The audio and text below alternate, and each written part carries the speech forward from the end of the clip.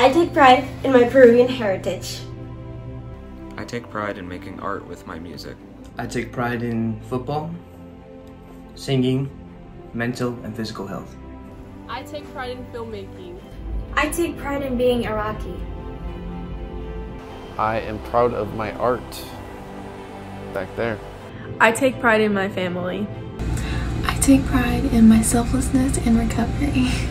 And I take pride in how I can carry myself in situations that are sometimes very nerve-wracking. I take pride in my activism. Me enorgullezco de ser Latina. We know that there are many things that our Grizzlies take pride in. Share with us on our Insta what you take pride in. We will highlight some amazing Grizzlies on Bear Facts all year. Today we're talking about the difference between personality and character. Sometimes people think they are the same thing, but actually, they're really different from each other. For some of you, this will be review, and for others, this may be new information. In the chat, we'd like you to play Fist to Five for the following question. If you're confident in knowing the definition of personality, you're going to put a five in the chat. If you're not confident at all, you're going to put the word fist in the chat. If you're somewhere in between, you can put a one, two, three, or four. So how confident are you in the definition of personality?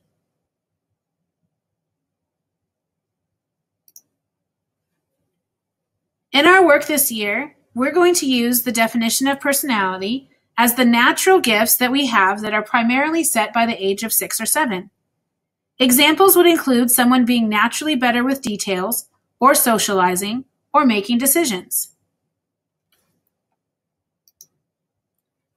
Now in the chat, we're going to look at how confident you are in the definition of character. You might have seen it on the slide before. If you're not confident at all, you're gonna, going to put fist in the chat. If you're very confident, five. If you're somewhere in between, a one, two, three, or four.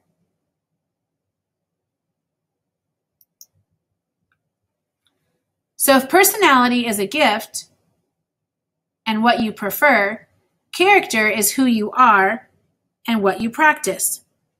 In our work, we're going to use the definition of character as who you are built on the thousands of choices that you make every day. What you prefer is what you like. What you practice is what you do. You may have seen the example on the previous slide that said personality is what you wear to the gym.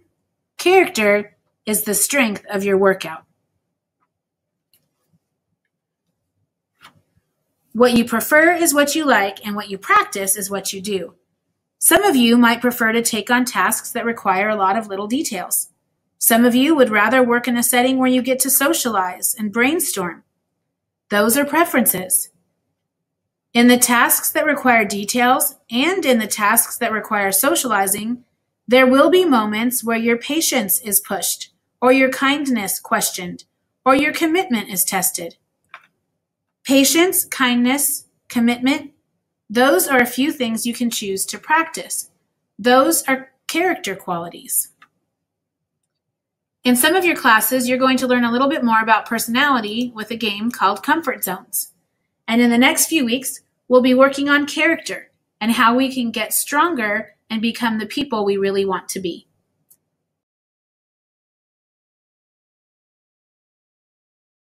Is it just me or is the world gone crazy lately? What's going on? Can we not see the way we're evolving, changing? Something's going wrong. Cause every other day is the same old story, broken record on repeat. Another man dies and a child goes hungry while my brothers cry for peace. Here's another war song for the poor, singing freedom isn't free. How can my heart not beat for these? How can my heart not bleed for these? Love called and asked about us, said she'd wondered where we'd gone. She's been lonely without us, she wants us to come back home. And don't you miss the way it used to be for you and me? Well, won't you please answer her call with me and say, Hey, love, we're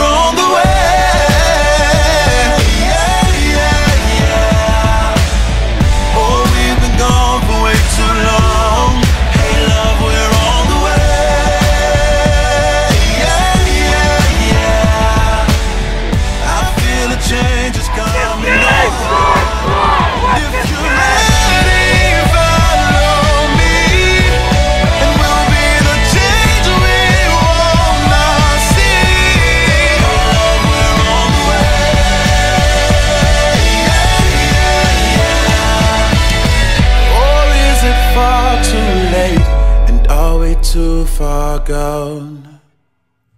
Hi, Osos. While it may seem like we as students are too young to do anything, there are many ways for our voices to be heard. A first step is to be willing to have a conversation and educate yourself. This is not about politics. This is about human lives.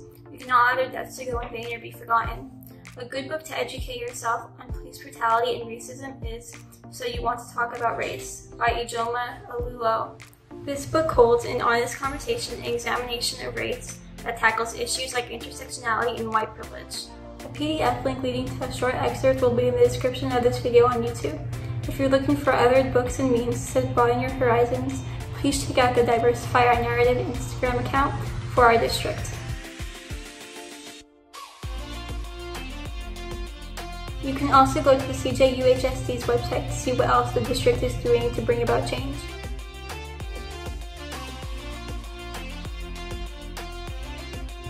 There are many other ways to get involved. Please tune in to Bear Facts next week to learn how you can help through signing petitions and donating. Um, hi, I'm Katrina Roosley. I'm a senior at OSOS and I own a small business.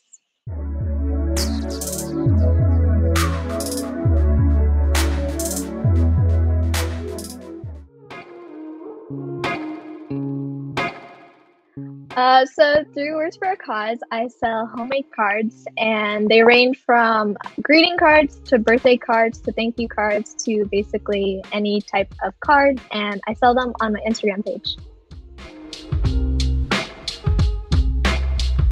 Uh, so, like a lot of people, I picked up a few hobbies throughout quarantine, and one of them was painting. So, I would paint birthday cards for my friends and family members, and I found it really therapeutic and calming.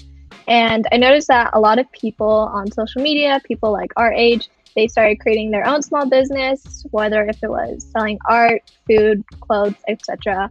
And I just wanted to find a way to donate money, to gain money, and donated it to certain organizations.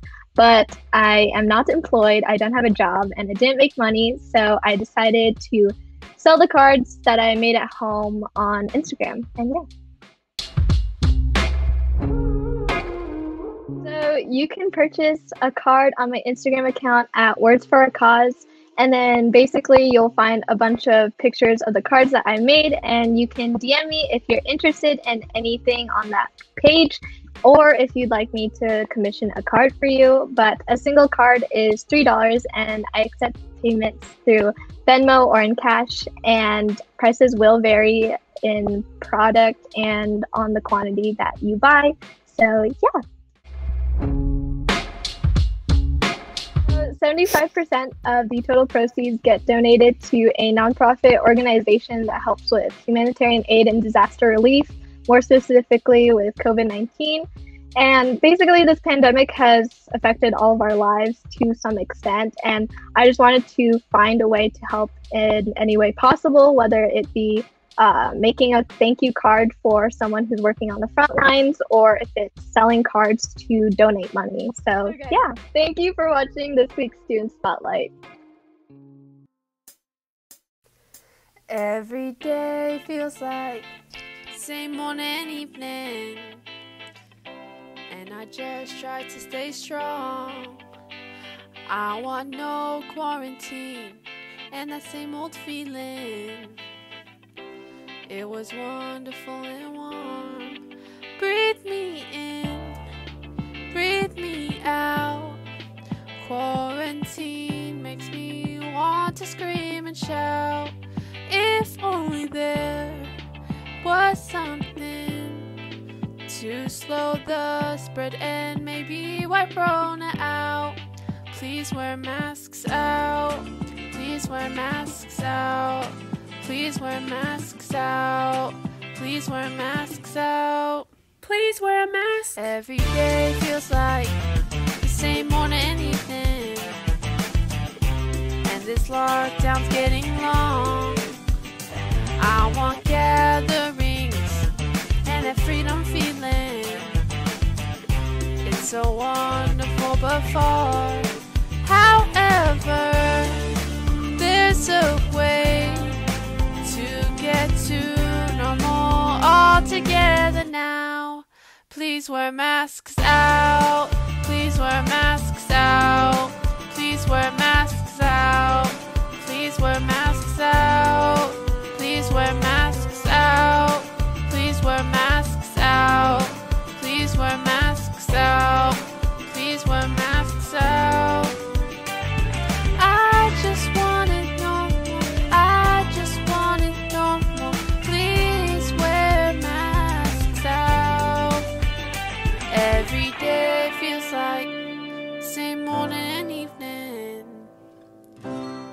I just try to stay strong. If only there was something to slow the spread and maybe wipe Rona out. Please wear masks out. Please wear masks.